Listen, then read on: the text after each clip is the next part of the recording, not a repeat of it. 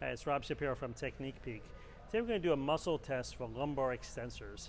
This is your patient who's more subacute or chronic, not irritable, because you don't want to put them through it, but these, you have to be able to test the strength of the lumbar extensors. So what I'm going to do is you're going to have your patient put your hand on their back, the side you're going to test, heads turned to the side you're going to test.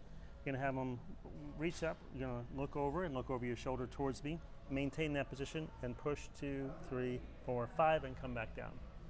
That's a good test. I'm going to show you on this side. Typically, I might go on the other side to show you, but it'll work this way.